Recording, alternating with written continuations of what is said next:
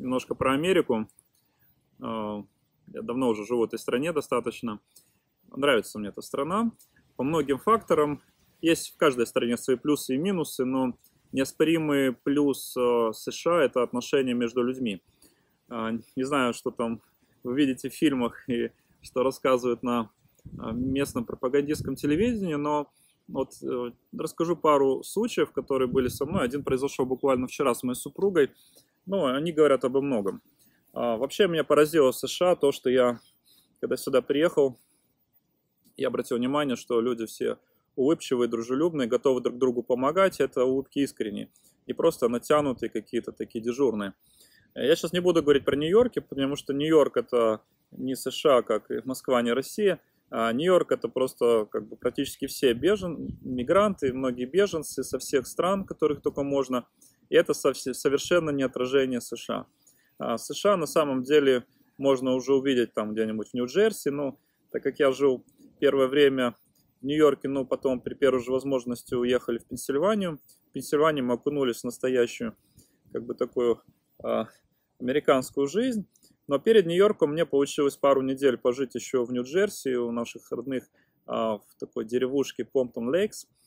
И первое наше знакомство было такая глубокая а, нью-йоркская деревушка, где транспорт редко ходит общественный, только свои машины. И вот мы поехали с родственниками в магазин, и я первый раз такое увидел, когда ты приходишь на кассу, и э, на кассе нету кассира, просто сам делай, что хочешь, проводишь товар, а, все на доверии.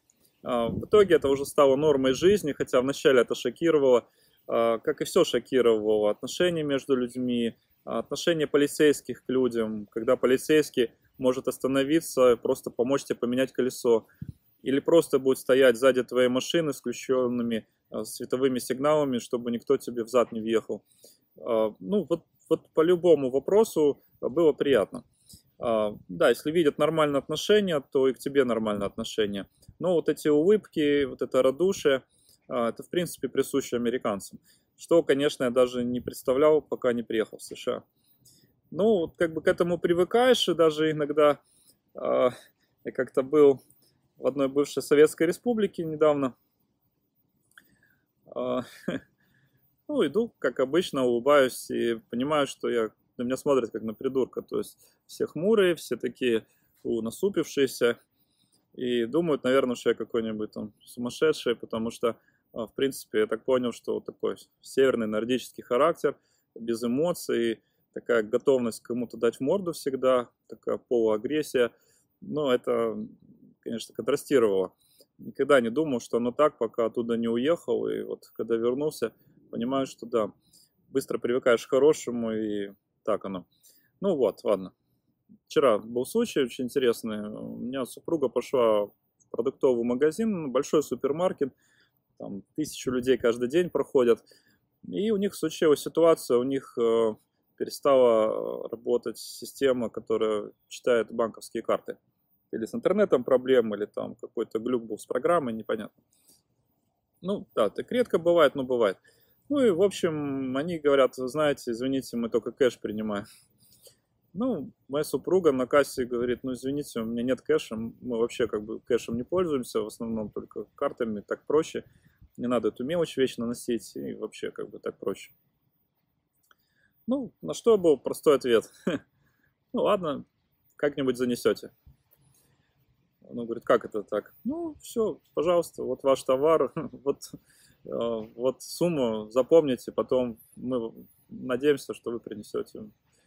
Ну, как бы, хотя мы давно уже живем в США, но, конечно, это поразительная была тема. А, это как будто в какой-то маленькой там европейской деревне 16 века, знаете, там бывает в баре приходят, пьют все за счет, счет бара, и когда появляется какой-то большой куш, то вот приходят там или какой-то ковбой тут на Диком Западе ногой дверь открывает и говорит, все, давай, тащи свой журнал, все, оплачу за все годы, когда я пил у тебя бесплатно.